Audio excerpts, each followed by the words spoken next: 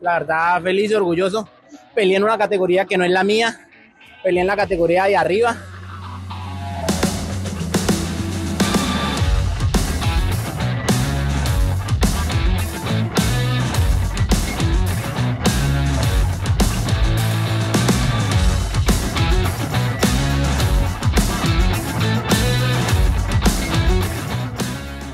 Bueno, una prueba excelente, tiempo espectacular, cerca de mi mejor tiempo, que es 1.10.32. La verdad, feliz y orgulloso.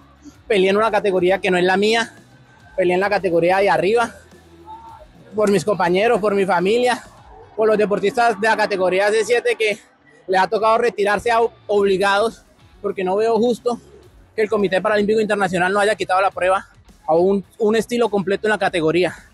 Estoy de acuerdo con el 100 libre, pues nadamos 50 libras y 400, pero deportistas como son los pechistas eh, pierden esta oportunidad, les toca retirarse, dejar el deporte y eso no es justo, porque varios procesos se pierden en el camino.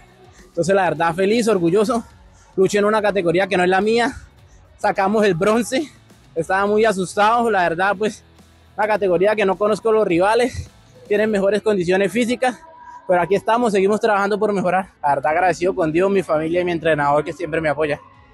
Me quedan aún tres pruebas en la categoría S7, 50 libres, 50 mariposa y 200 metros combinados. Una prueba muy dura, todos los rivales muy parejos, pero sí, siempre soñamos con el podio. Queremos dar más y más y más cada vez.